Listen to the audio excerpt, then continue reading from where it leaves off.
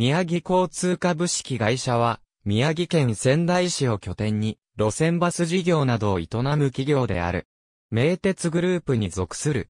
仙台都市圏の一般路線及び、仙台などを発着地とする中長距離の路線バスを運行している。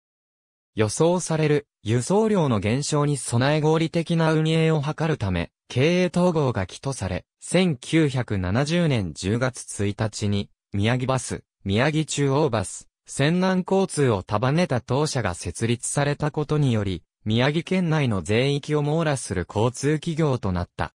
かつては、県内全域でバス事業を行っていたが、後に地域ごとに分社し、仙台近郊のバス事業と高速バス事業を中心に営業している。また、関連バス会社と共に、宮古グループを形成している。関連事業として、ザオハイラインの管理を行っている。近年では、人手不足が深刻化しており、2017年10月にはそれまで、仙台市営バスの並走区間、営業譲り受け路線において適用されていた、仙台市交通局賃率の準拠を取りやめ、全区間で自社賃率に切り替えを行うこととなった。これに合わせて、自社賃率の引き上げも行うこととなり、10円50円程度の値上げとなる。2020年からのコロナ禍により、緊急事態宣言発令、3密回避などの影響をもろに受けることになり、乗客の激減による収入が悪化した。経営悪化を理由に、ダイヤ改正実施。路線廃止、減便した。また、高速路線は一部運休が発生している。コロナ対応ダイヤ改正により仙台県の路線バスが朝夕のラッシュ時も減便された。平日ダイヤを土日ダイヤに数便だけ足した状態になり、一時期乗客を乗せきれない状態が発生。そのため、続行便を出して対応する事態に陥った。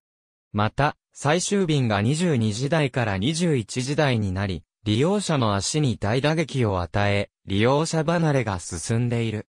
統合した各社の詳細については、各社の項目も参照。株式会社宮古宮城交通株式会社空港、仙台高速バスセンター特急以外は、すべて宮城県内に所在する。いずれも折り返し待機専用の車庫で、車両、乗務員の配置はない。高速車や宮古バスも入庫する。一般路線バスを除く各路線について、停車停留所等については、路線記事のないもののみ掲載。内は共同運行会社。路線記事のあるものについては、詳細は各記事を参照。広瀬ライナーゴア番号、仙台気仙沼、宮古線宮城交通は、気仙沼線以外の県内完結の高速バスを特急バスと呼称している。ただし山形線、上野山線は1950年代に一般路線として運行開始した経緯と高速バスとしては運行距離が短めであることから特急バスとして分類されている。長町ループバス、長、町くん公式サイトの路線図は系統のみを示すもので、2009年4月、現在のものに更新されている。なお、仙台駅、西口バスプールの案内所や、各区役所などで紙の路線図を無料配布している。運行経路など詳細は、各路線の記事を参照。仙台市交通局からの受託路線霞の目、受託出張所仙台市交通局霞の目、営業所を参照。東仙台受託営業所仙台市交通局、東仙台営業所を参照。新井寺受託出張所2010年4月から2011年5月の間、新井寺出張所の業務を当社で受託していた際の担当路線を示す。岡田受託出張所、新井寺受託出張所2012年4月から2015年12月5日の間、新井寺出張所の業務を当社で受託していた際の担当路線を示す。高速バス、特急バスポーラスター号ニューエポック号1996年8月、運行終了。仙台相馬線路線バス宮古バス等、子会社に移管後に廃止された路線を除く。名鉄グループの会社であるが、4メーカーすべて保有している。路線大型車は2015年からは、イスズエルガの AT 車のみ導入されている。宮城交通発足時は、旧三車カラーが混在していたが、赤い3つの、を合わせたカラーになった。1980年に採用された、現在のカラーリングは、名鉄のものに準じているが、赤白カラーそのものは、仙北鉄道の2代目から塗られており、塗り分けは異なるが、伝統のカラーとも言える。最近の新車のうち、名鉄バスと共同購入したものは、同社の塗装に準じている。なお、名鉄バスから譲り受けされた中古車のほとんどは、名鉄バスの塗装のままである。さらに、一部の高速車や軍ヘコ会社に導入された車両の中には、全く塗り直されないものや一部分だけ塗り直されたものも存在した。古くから中古車を数多く導入しており、特に1980年代末以降には、神奈川中央交通、東京都交通局、西武バス、京浜急行バスなど首都圏の大手バス会社から大量に譲り受けしている。最近では、前述の名鉄バスのほか、2010年頃からは、名古屋市営バス、京王電鉄バスからの譲り受け車も増加している。三菱車や富士重工製車体を中心に、いわゆるサンプルカーが多いのも特徴である。また、元自家用用途の車両を改造して使用する例も見られ、中古車両の人用は非常に多岐にわたる。サンプルカーは車両老朽化により2021年までに全車両廃車された。2002年と2004年には、仙台市交通局からの路線異常に合わせて、車両も異常された。当初は、市バス色のままで走っていた車両も多かったが、ほどなく全車が、都をカラーに塗り替わった。特徴としては、窓に、青色のスモークがかかっている、運賃箱が、市バスと同じ、シートモケットが緑色であることなどが挙げられる。現在は、全車両廃車。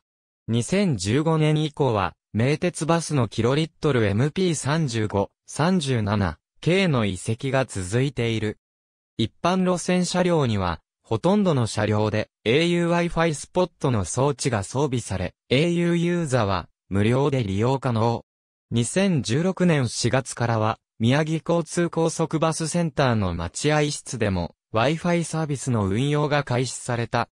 高速バスの車両では、au Wi-Fi スポット装備の場合とソフトバンク Wi-Fi スポット装備の場合とがあり、運用次第で異なっていたが、2018年5月より、順次、宮古フリー Wi-Fi が導入され、キャリアやデバイスを問わずに Wi-Fi サービスが受けられるようになっている。2014年3月3日の5時10分頃、富山県小矢部市の北陸自動車道上り線小矢部川、サービスエリアにおいて、宮城交通の夜行高速バス、エト R 号が、大型トラック2台に衝突し、バスの運転手と乗客の計2人が死亡。残る乗客23人とトラックの運転手1人も中継傷を負い、病院に搬送された。なお翌日の3月4日には、自動車運転過失致死傷の疑いで、富山県警が、宮古本社を家宅捜索に入った。この事故は運転手が何らかの原因で、運転中意識を失い起きた。意識を失った原因は分かっていない。これを受け、宮城交通は2014年4月22日に、高速バスに関する安全対策を発表。夜行高速バスに運用されている、全車両重量をすべて、衝突被害軽減ブレーキ付けの車両に更新すること。健康診断で一つでも異常が発見された場合は、夜行高速バスの乗務から外す、中高、夜行全高速バス全66両に、車両ふらつき警報を装着することをそれぞれ発表した。また、同年6月25日には、国土交通省東北運輸局から青沼、正義社長に、道路運送法違反が確認されたとして、警告書が交付された。2017年9月9日には、グループ会社の宮古バスで、東北道を走行中に、バスが急に減速。運転士がうめき声を上げた後、意識を失い、中央分離帯に接触。異変に気づいた乗客がバスを停車させるという事故も発生。乗客に怪我なし。運転手は緊急搬送されたが、死亡が確認された。2011年3月11日に発生した東日本大震災及び、同年4月7日に発生した余震の影響により、宮城県内の JR 各路線が運休したことから、主に仙台市内と県内各地及び福島県北部を結ぶ臨時バスを運行した。運行路線と運行期間は以下の通り。なお、子会社の宮古バスが単独運行した臨時バスについては、宮古バス臨時バスの運行を参照。仙台石巻線臨時バス。前が、鹿島台松島線、後が、松山松島線2015年現在、県内に、仙南交通、宮城中央バスと称するバス会社があるが、宮城交通及び、全身会社とは全く関係がない。ありがとうございます。